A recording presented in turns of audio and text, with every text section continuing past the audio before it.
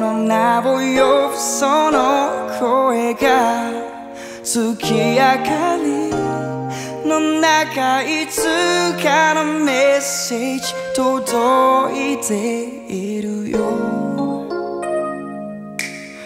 また会えるよね。なんて君が言うから思い出が不意に溢れして止まらなくなる。共に過ごした日々の記憶優しい風のように。背中をした旅立ちの季節。忘れないよ。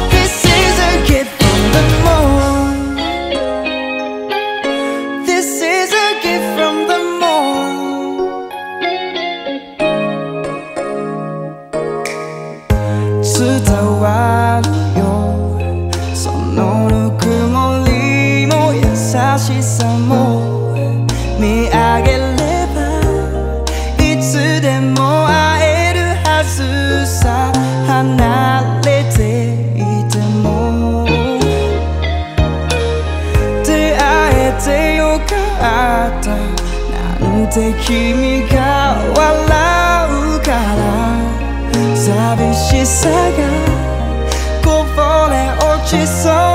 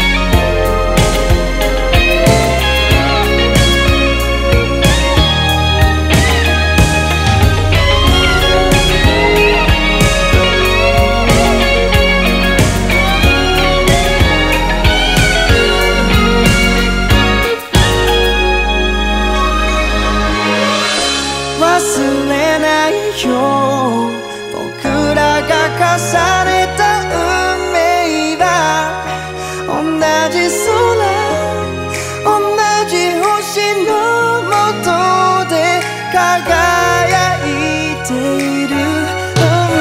get from